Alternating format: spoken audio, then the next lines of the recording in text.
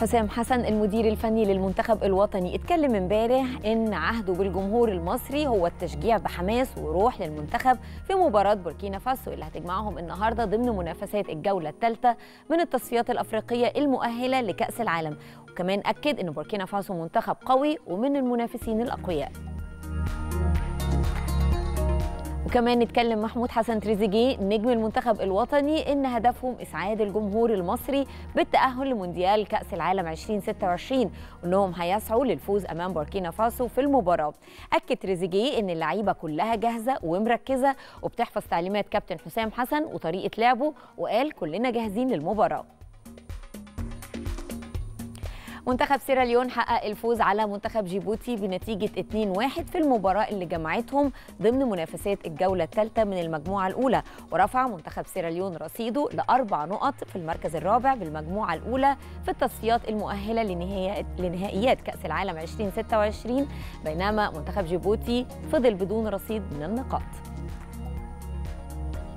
منتخب مصر للشباب بقيادة وائل رياض فاز على الإسماعيلي بنتيجة 1-0 في المباراة الودية اللي جمعت بينهم على استاد الإسماعيلية في إطار استعدادات المنتخب للتصفيات المؤهلة لأمم أفريقيا للشباب.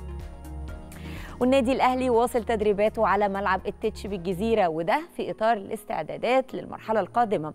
عقد مارسيل كولر المدير الفني للفريق محاضرة فنية بالفيديو واجتماع للاعبين قبل انطلاق الميران الجماعي. كمان قاد مخطط الأحمال ميرانا بدنيا متنوعا للاعبين مع بداية فقرات الميران.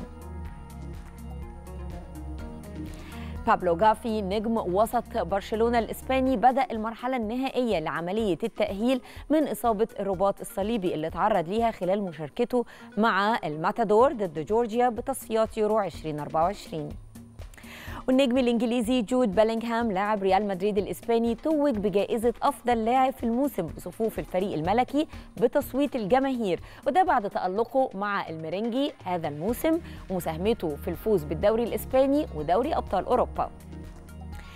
نادي نابولي الإيطالي أعلن بشكل رسمي عن تعاقده مع أنطونيو كونتي مديرا فنيا للفريق رسميا لمدة ثلاث سنين لغاية 2027 وده من أجل إعادة الفريق بعد التراجع وخسارة لقب الدوري الإيطالي الموسم المنتهي. شباب منتخب إيطاليا توج ببطولة يورو تحت 17 عام على شباب منتخب البرتغال وده للمرة الأولى في التاريخ في البطولة اللي بتقام بقبرص. وتوج منتخب إيطاليا بلقب يورو تحت 17 عام بعد الفوز على منتخب البرتغال في النهائي بنتيجة 3-0 في اللقاء اللي أقيم في قبرص.